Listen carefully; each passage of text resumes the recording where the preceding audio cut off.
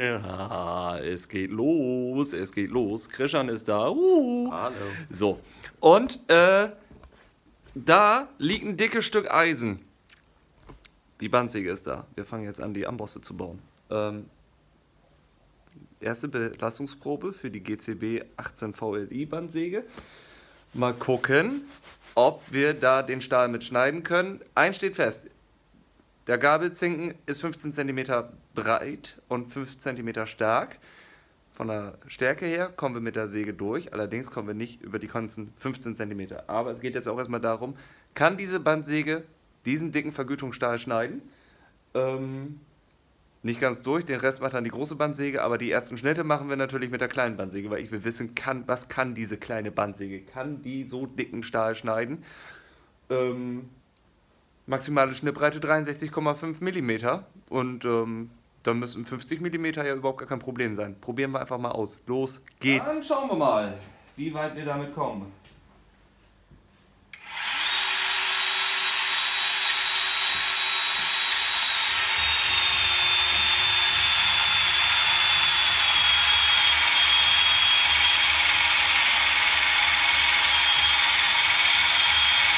Das Schöne ist, dass den Arbeitspflicht Von oben kommt.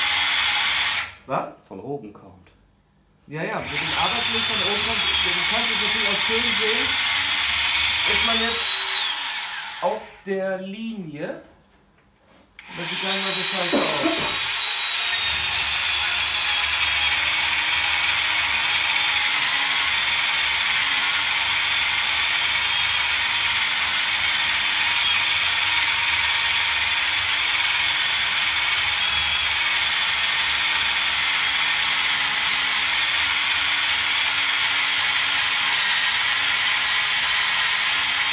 Jetzt nicht großartig zu stören.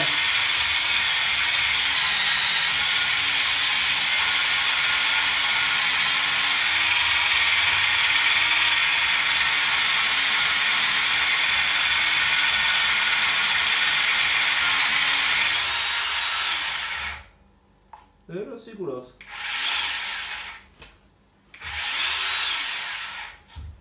Kannst du mal versuchen mit der Kamera ein bisschen näher ranzukommen.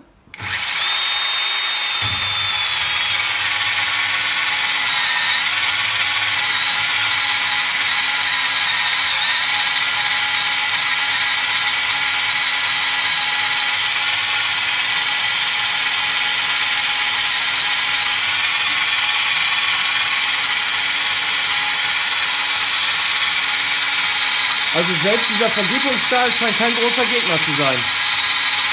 Das merke ich nicht.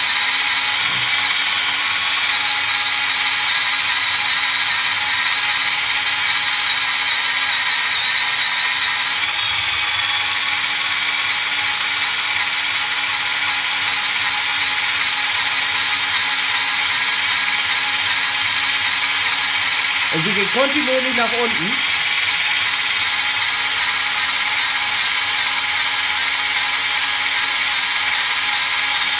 Das ist ein gutes Zeichen, ne?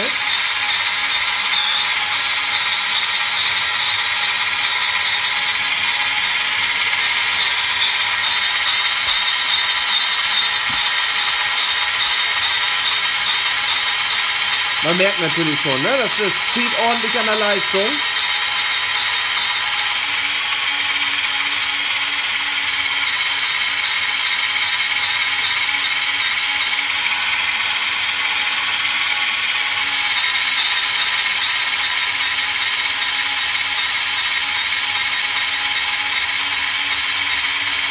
Gleich liegt sie auf.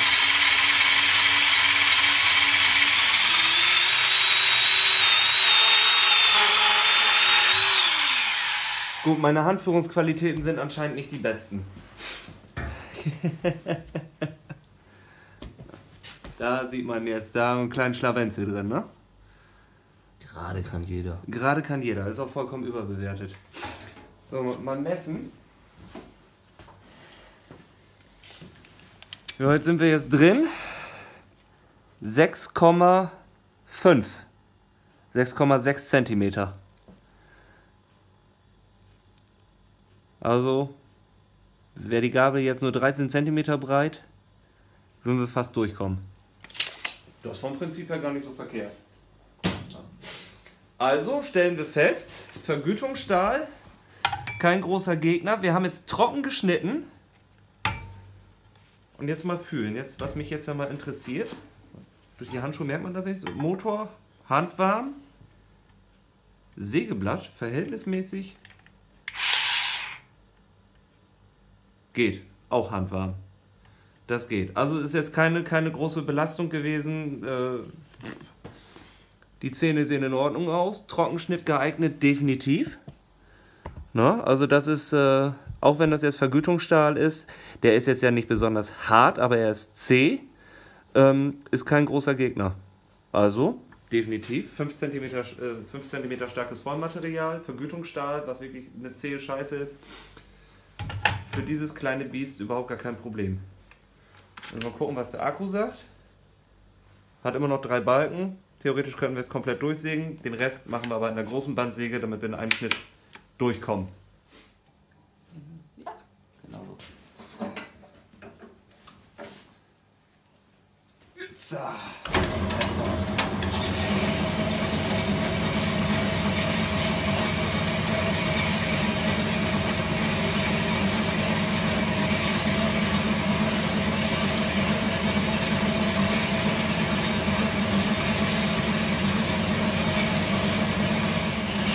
Deswegen lässt sich das auch genau gut.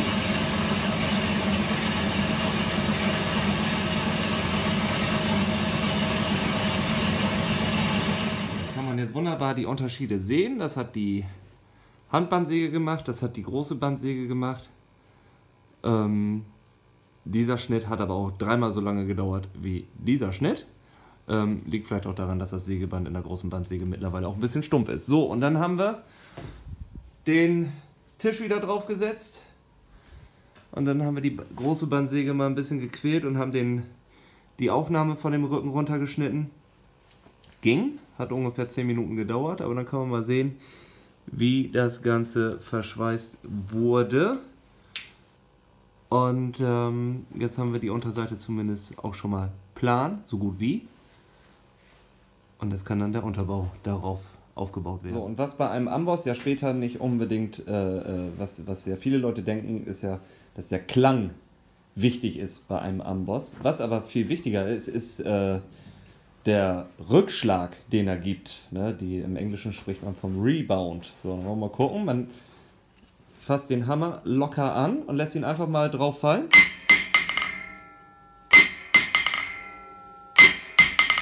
Und das ist sehr gut. Also er gibt Kraft zurück.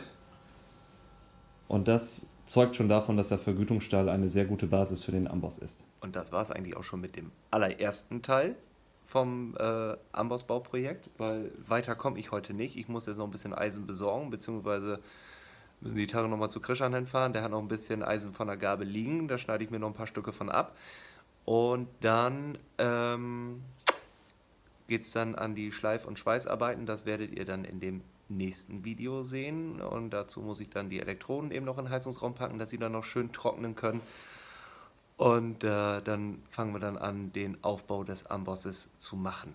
Und dann wird es, denke ich mal, auch noch sehr spannend. Das waren jetzt aber erstmal die Bandsägebearbeiten soweit. Ähm, ja, also äh, es ist jetzt na, mit dem nächsten Material, mit dem fehlenden Material, was da noch kommt, das ist jetzt nicht so spannend. Also da brauche ich jetzt nicht Videos machen, wie ich jetzt die einzelnen Metallteile da zurechtschneide. Das ist nicht so spannend. Spannend wird dann später das Zusammenpuzzeln, das Verschweißen, das äh, Warmhalten, das Vorerwärmen, das Nacherwärmen. Dann irgendwie muss ich irgendwie noch gucken, dass ich mir irgendwie noch ein paar Säcke Sand besorge. Weil, wenn das ganze Stück dann nämlich fertig geschweißt ist, ähm, muss ich äh, das fertige, den Amboss, wenn er fertig geschweißt ist, das muss ich auch gucken, dass ich das in einem Stück durchgeschweißt kriege.